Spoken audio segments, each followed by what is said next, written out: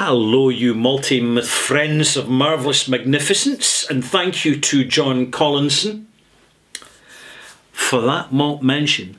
This is the Bothy, somewhere in the Irish Sea, and I am your host for the Malt Moments. I'm Ralfy. I drink whisky.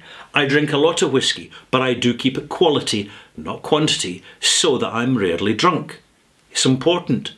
The quality of our experience in life is directly influenced by the quality of what we connect with, the quality of what we introduce into our lives, and our awareness of that.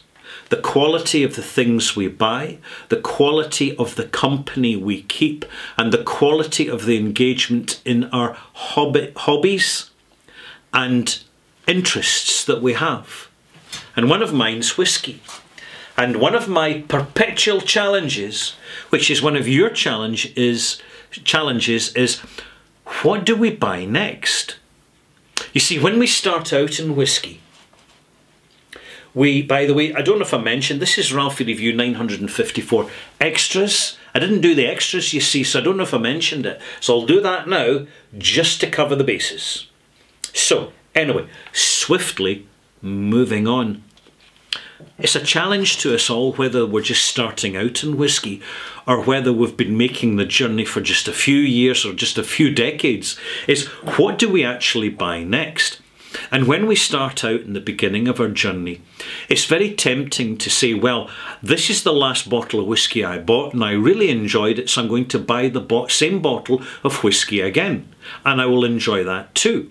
And you're absolutely right and it gives your, your senses more time to become familiar, acquainted, and acclimatized maltmates with a particular expression of a particular brand, whether it be 12 year old Glenfiddich, or 12 year old Bowmore, or 12 year old Glenfarclas. There is so much to choose from. In fact, the array of choice, not just in Scotch whisky, but in all flavoured matured alcohols from around the world, is frankly bewildering, slightly confusing, and endlessly growing.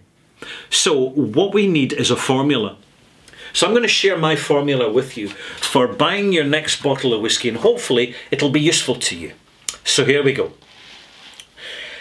you've bought your first few bottles and you've had your first few years experience and you've perhaps got half a dozen different varieties of whisky and possibly you find that they're quite different. So you've tried the non-peated whisky the obvious accessible supermarket high street whisky just to start somewhere and get your bearings. And then you've been gifted something possibly an independent bottling and you poured a glass but you just couldn't get it. It was just weird so you put the cork back on, you put it back in your shelf because you're going to come back in a few months or a few years' time and it'll be just sitting there for you so long as you're looking after it carefully and it'll be ready to go when you are because your palate has more experience.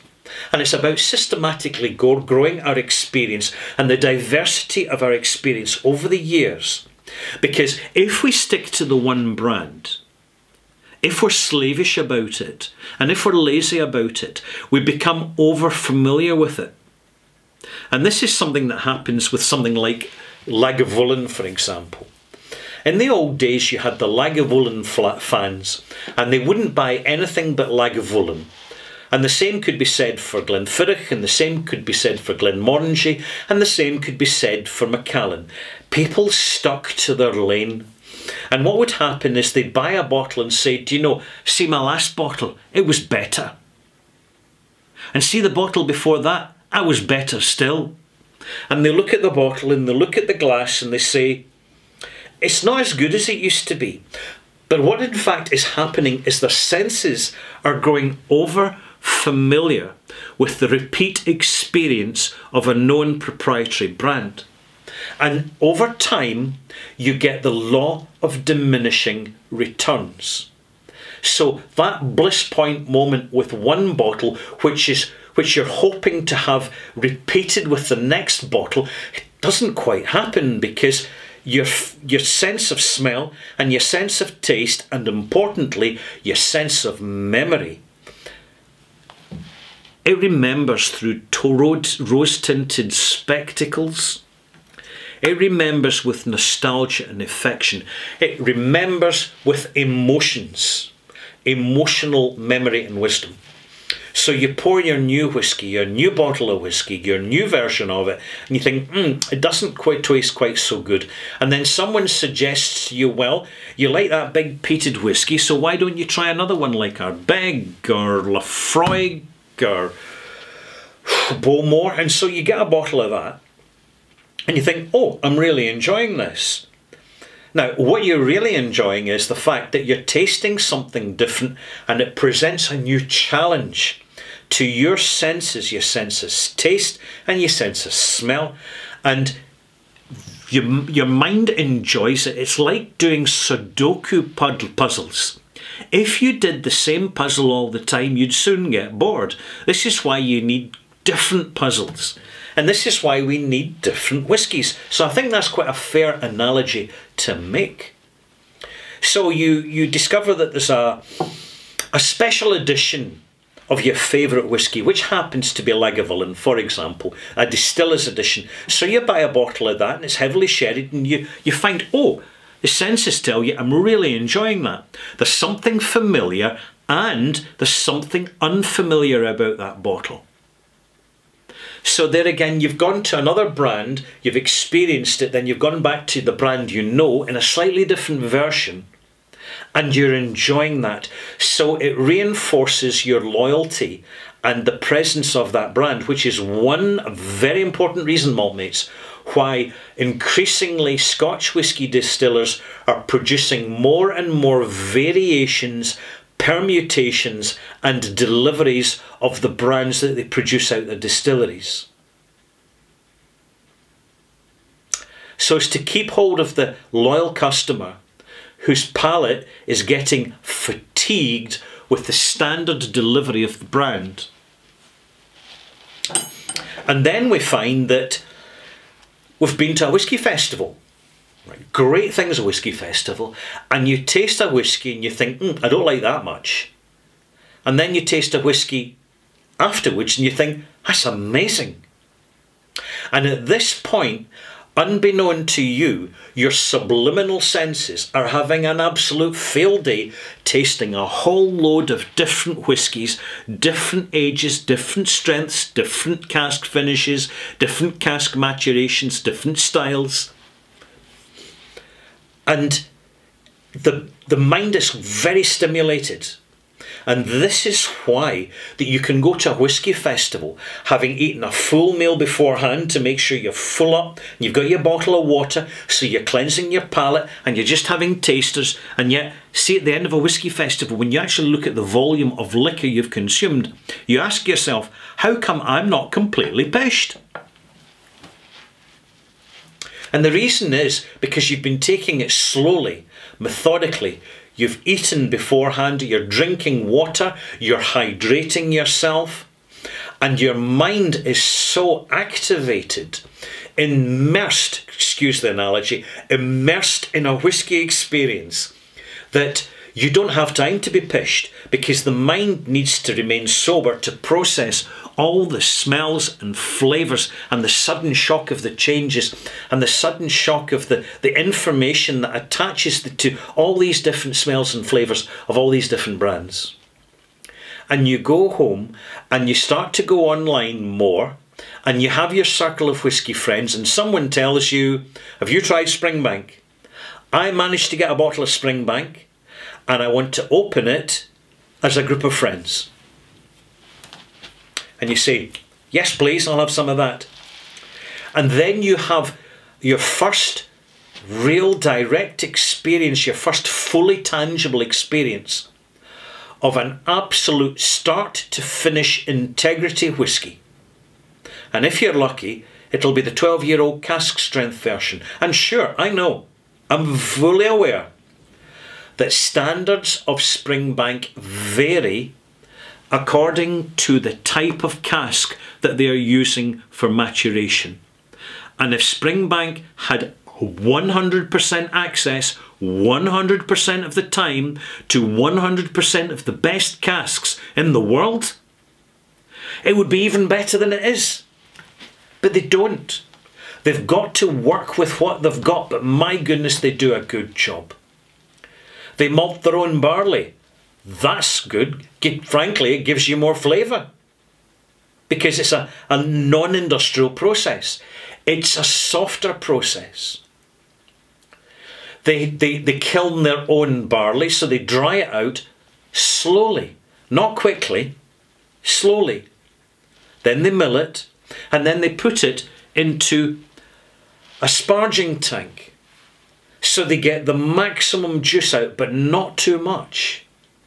And then they ferment it, and they ferment it slowly in wooden washbacks. And then it goes into a still, one of the first still it goes to is direct fired. Very expensive option these days when you're firing in gas. But they do it.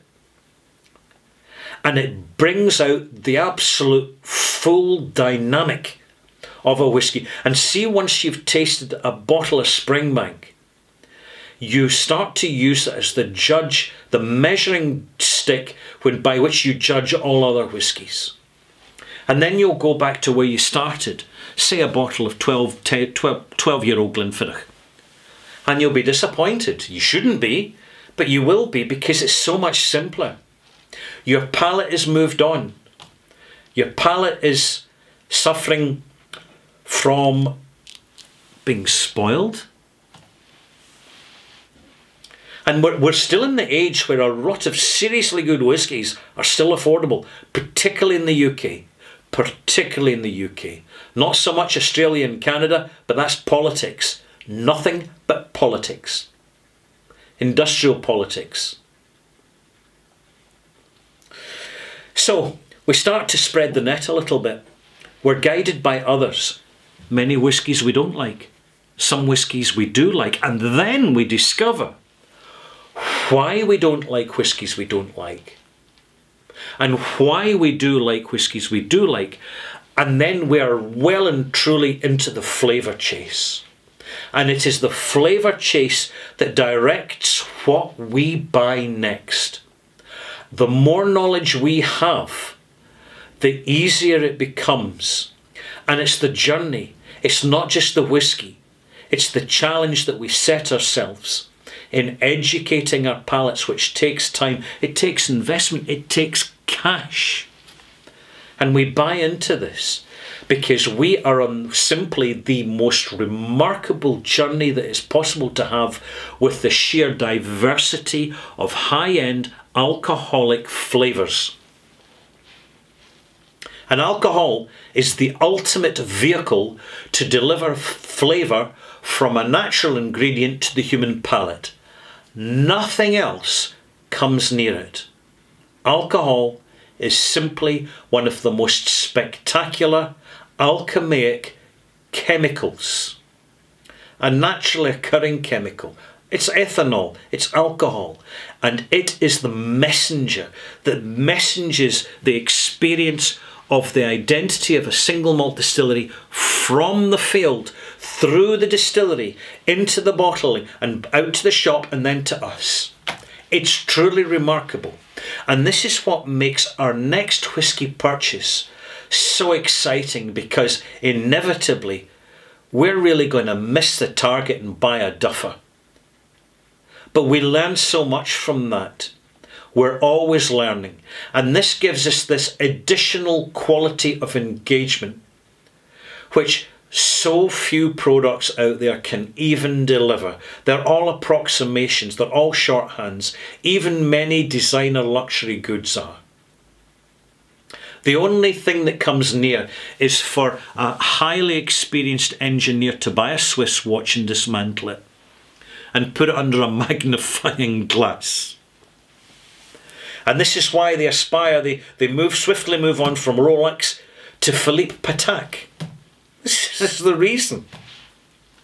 It's the reason why a Hermes, a Hermes handbag or any other accessory is so, so desirable because when you actually fully scrutinize and analyze the construction and fabrication, you see that it is genuinely hand done with intelligence and considerable skill, which is missing from so much of modern consumable products. But, maltmates, you'll find it in whisky.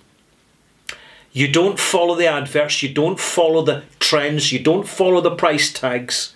You will find the most amazing, amazing experiences are affordable and accessible to you. The skill is the hunt. What's your next whiskey you're going to buy? What's it going to be? I don't know. You might know, but you might not know. But you're using your experience and you're sniffing it out and when you find it and when you work, when it works for you, when you are rewarded, it is truly an amazing and wonderful thing. So is.